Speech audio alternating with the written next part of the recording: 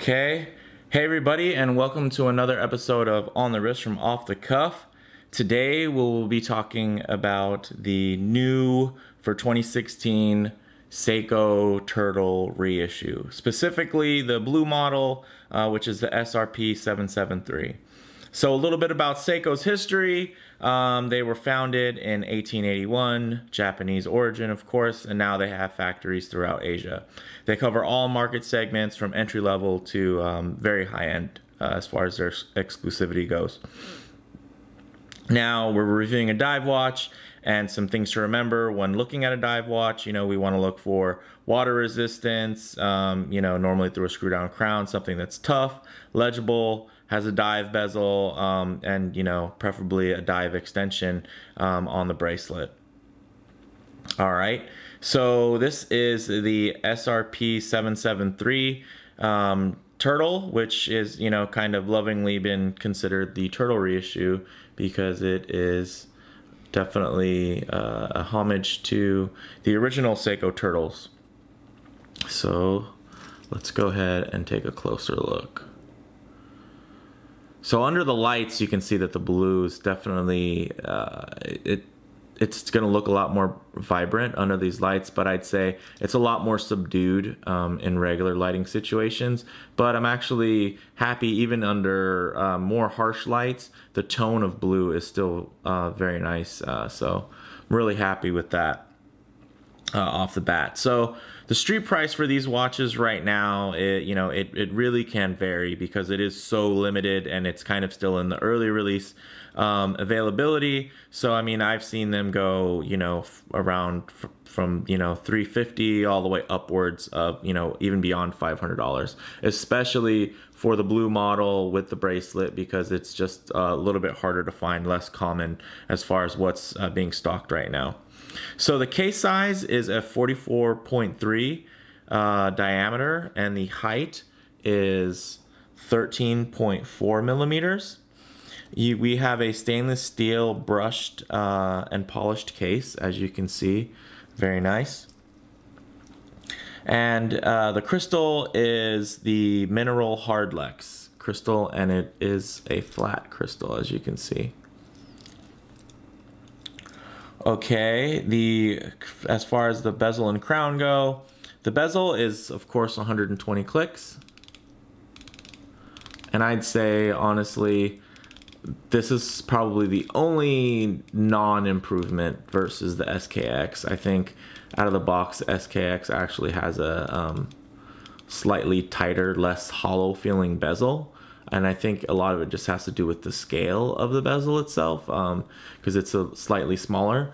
Um, not that this is a bad feeling uh, bezel action, it's just, you know, in comparison, and especially since there's so many aftermarket options that really take the SKX to another level, um, you know, I, am a bit spoiled uh, as far as kind of that entry level uh, Seiko uh, bezel action. Um, but nonetheless, it's still 120 clicks, very little play, lines up very nicely, and you know, it still has the uh, nice little hardlex layer over the pip there at 12. And uh, it definitely it has the matte aluminum finish as you can see, and then the crown is screw down, of course, but unsigned which is you know a little bit of a letdown but i think uh, kind of the aesthetic of the watch if there was going to be one that that had an unsigned crown i think it's nice that it's you know a more retro model so it, it does uh, suit the watch um, pretty well as well the movement is uh, Seiko's 4R36. It's hacking and hand windable, um, which is nice. And, you know, definitely it's been out for a while. So uh, you've you've probably had some experience in other models. I got to say, it's definitely a workhorse. It's essentially a hacking and hand winding uh, 7S26. Um, the case back is solid um, and stamped, and with um, also some some etching as well. So you know the tsunami logo is nicely stamped, and then you know all the stats and everything there. The Prospex X um, are all etched in. Now, as far as the dial goes, you know, a closer look, you'll see that it has applied indices. You know, it has a very dark blue um, coloring with um, the matte finish. It has a day date complication at three. Um, there are, you know, polished, uh, as you can see, the polished and uh, painted hands. on the second hand, the second half there with the ball end is painted, so it, it blends in uh, to the dial a little bit more and, and uh, helps it to look less cluttered, which is nice. Definitely a nice touch there. Um, the Seiko, and then as far as Lume goes, it has Seiko's proprietary Lumibrite as well, which is very nice and thickly applied. Hopefully the camera can pick that up. Um, definitely great Lume application, and you'll you'll see that uh, when we get to the Lume shot. So as you can see um, on the dial there, it does um, it is. Uh, 200 meters water resistant, um, and it, it, does rate the divers 200 meters um, wording there, which means that it meets or exceeds the ISO standards to carry that text. So that's always a nice feature to have. Um, the lugs are 22 millimeter lugs and they are drilled, which is very nice. Unfortunately, on the back, um, the bracelet actually, you know, it, it's pretty much only made for a watch with drilled lugs um, which we we have seen from Seiko's with drill lugs before, so there's no new surprise. But it does make putting the bracelet back on a little bit harder, um, although it's it is definitely very easy to take off. Okay, and these um, the links are actually very nice and solid, and they're held together by a pin and double collar connecting system. So essentially, instead of having one pin in the center link, there are actually um, I'm sorry, uh, one collar in the sender link, uh, as you've seen in some other models, it'll actually have the pin goes through and then there's two pins, one on each side, which is a little bit harder um, as far as changing the bracelet goes. I didn't have too much trouble with it. Um, it's basically once I realized the system that it was, and I was kind of prepared to deal with it that way. It definitely made it a lot easier um, after that, and, and I I think you know the only bad thing is the pieces are very small. Um, so you do worry about losing them. So just make sure you know you you're, you have a steady hand and a clean workspace uh, when you are sizing the bracelet. So as you can see, the links are brushed solid links. You know, we got solid end links, you know, beautifully crafted, very nice and tight tolerances, I have to say. Very impressed. Um, this is probably the best OEM bracelet I've seen um, on a Seiko. And it's not the first in this design. I just think that they really killed it with its execution and and really overbuilt it um, to a very nice spec uh, to really match this uh, really great cushion case. So as you can see, we have the signed Seiko clasp. It's stamped, um, you know, fold over push button, and then also has that nice little diver's extension uh, which is a little hard to pop off uh, with the gloves on, but you'll just have to take my word for it. Um, it's there, it's, it, and it uh, it does it works. It's not as quite as sexy as some of the other systems out there. You know, the the Marine Master style um, ratcheting clasp would have been nice, but you know this is a 20 millimeter uh, taper versus tapering down to 18 millimeters. So still very nice. So let's go ahead and get this on the wrist.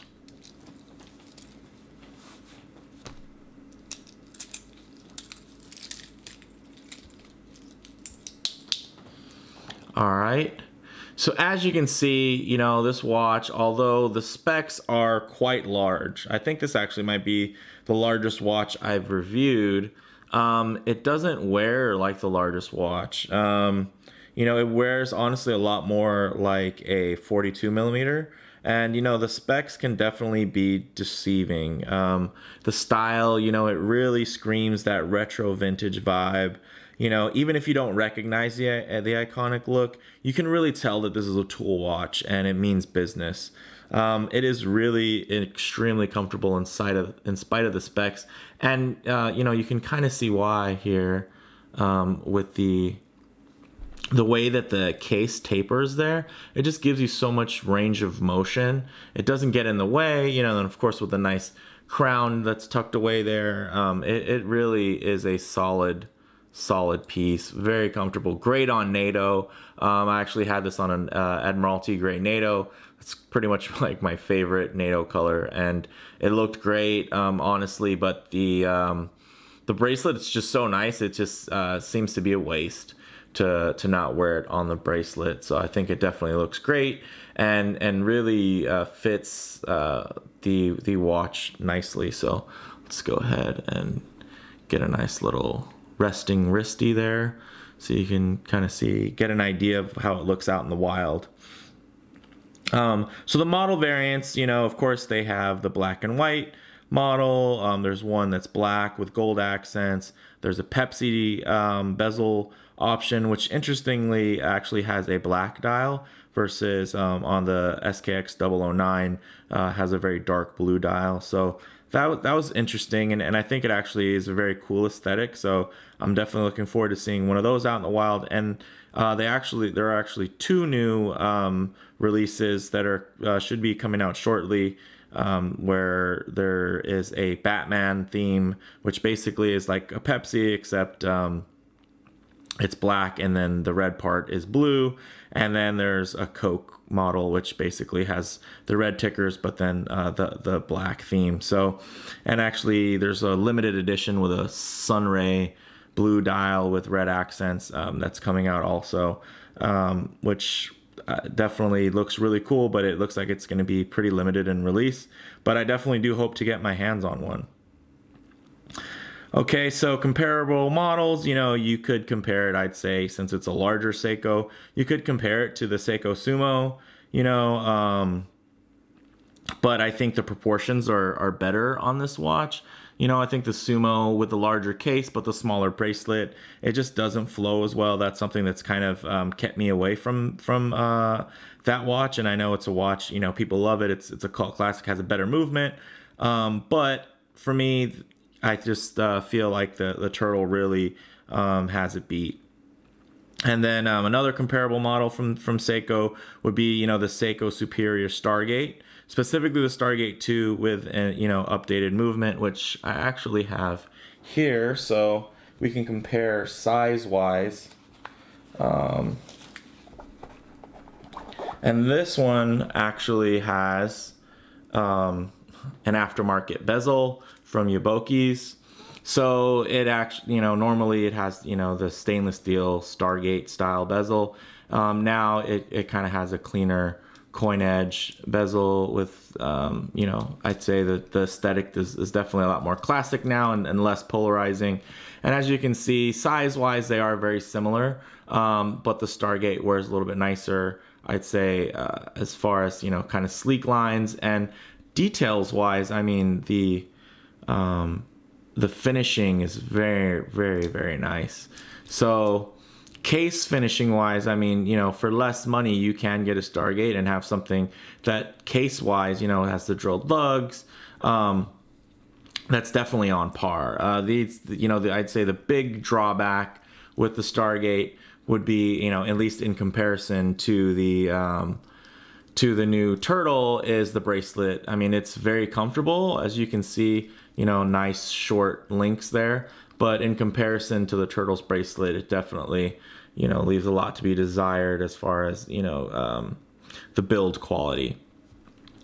But, you know, you, you take these watches off of their factory bracelet, you put it on a NATO, you know, or a rubber or leather, and, you know, it really evens the playing field. So, um, definitely a nice piece, and I'd say it, it is pretty comparable. So, and then, of course, um, another model I think that is uh, very comparable would be the recently released Ray 2. So I will definitely be setting up a battle between these watches, so make sure to look out for that. Um, and just as kind of a catalyst here, let's get out the infamous SKX 009. This is my modded version. Um, from Artifice Horrorworks.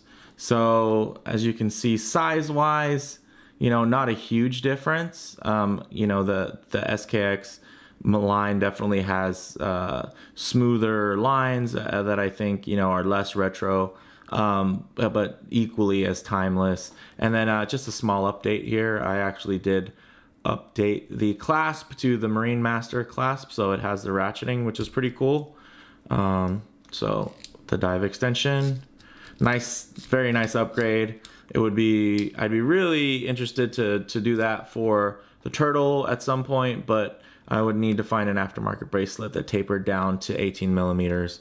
So, but I just wanted to kind of show you guys as far as size wise, you know, it's not that much bigger than the SKX. So if, you know, that's one of your concerns, you think that it's, you know, it might be too big. I think, you know, uh, you, you'll still definitely be very happy. And for those of you that thought the SKX was a little bit small, um, at least, you know, wore a little bit small if you have a larger wrist, you know, I think the turtle is definitely the answer, and you can get a lot of what's great about the SKX um, here in the turtle. So what we'll do is we'll take it off the wrist, and we shall take a look at the lume. And you know what? Let's do this. Let's get the Stargate back out. Although it is modded, it's just the bezel. So the lume is still the same. So let's uh, just kind of take a look at, just so you can have a comparison, uh, you know, for the lume shot. Then what I'll do is I will charge these guys up. Black light. And all right, as you can see, lume looks great. I'm actually getting a warning from my camera that the uh, battery's about to die, so we'll definitely end it here and just uh, say, hey, thanks guys for watching, and please keep an eye out for um, my next battle video with the Ray 2 versus the Seiko Turtle reissue. Thanks guys. Bye.